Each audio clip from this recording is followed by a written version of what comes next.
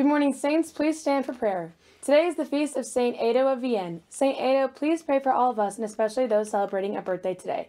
Happy birthday to Madeline Meyer and Bennett Maltavo. Let us pray. In the name of the Father, the Son, and the Holy Spirit. God of the universe, you are greater than all the space, and yet you know us and love us more intimately than we can imagine. Help us to feel your omnipotent, omniscient presence in our lives today. Together we pray. Heavenly Father, we praise you and give you thanks for the blessings you have bestowed upon us. Keep us accordant with truth and active in charity, as exemplified by our patron, St. Thomas Aquinas. We ask this through Christ our Lord. Amen. In the name of the Father, the Son, and the Holy Spirit. Amen. Please join me as we honor our flag and country. I pledge allegiance to the flag of the United States of America and to the republic for which it stands, one nation, under God, indivisible, with liberty and justice for all. Have a great day, Saints.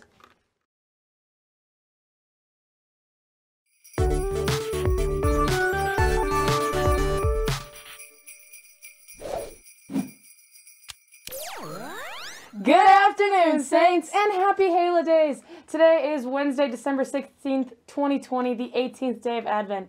Hey, Saints, do you think you know your Christmas trivia? Well, Sarah interviewed some students to see what the Saints know. Let's take a look. Thomas and I am a senior. My name is Carter. I'm a freshman. My name is Trey, and I'm also a freshman. Okay, we're gonna be asking you some fun Christmas questions today, and if you get three of them right, you win a prize. Deal. Okay, it's okay though. okay, what is the name of Bob Cratchit's son? Oh, little Timmy. What type of company does Walter work for in The Elf? Okay. Um. A toy company.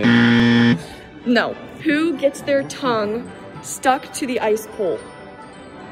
And what? It's a Christmas story. It's the little kid with the, the glasses. I don't know his name. Oh, um. What was his name? It's not Jimmy. Thomas. I think it's something R. I don't know. What is he called? With that. Flick. His name is Flick. That's not an R. What are the five main foods for an elf? Um. Chocolate.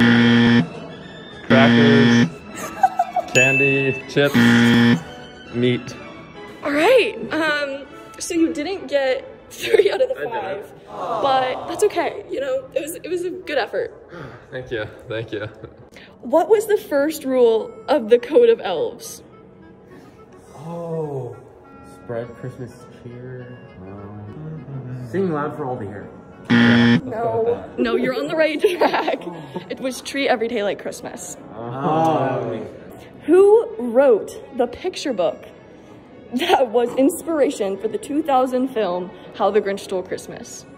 Dr. Dr. Seuss. Seuss. Good. I think that's five. I think you guys won. Did we get Three?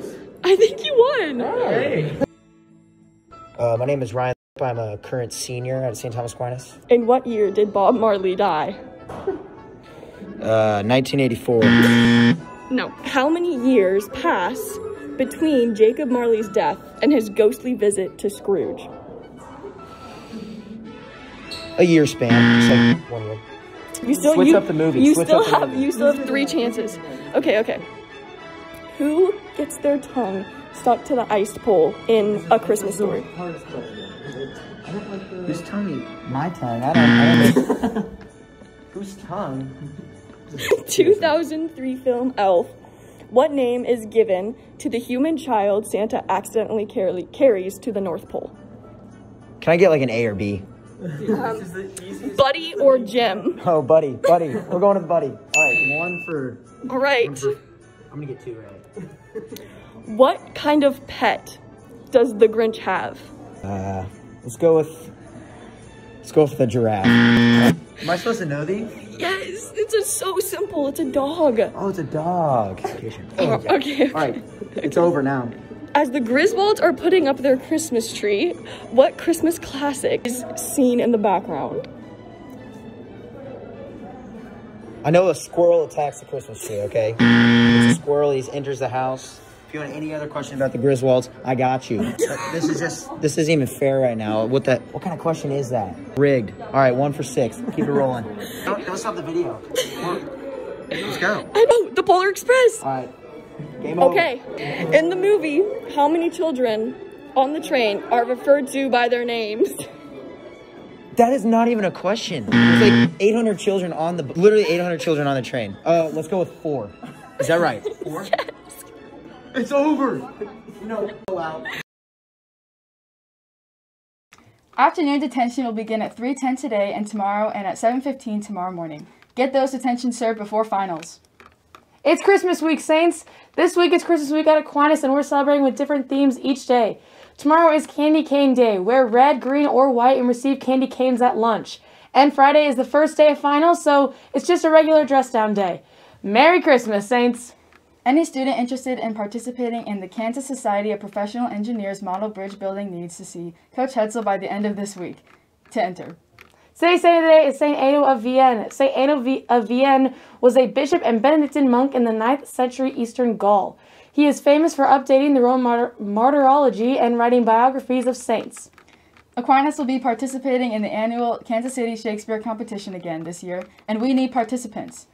We will first host a school competition, then send our school's winner to the Kansas City competition. The winner there will get cash money and the opportunity to compete in the National Shakespeare competition in New York this summer.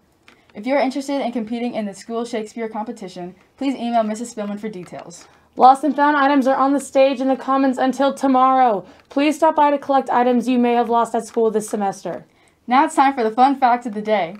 Did you know that 7% of American adults believe that chocolate milk comes from brown cows? That's 16 million people. Wow, I just did not know that. Thanks for watching today's midday show. We'll be back tomorrow with more announcements. I'm ah, Claire. And I'm Elizabeth. Don't forget, we'll find a way to make today jolly.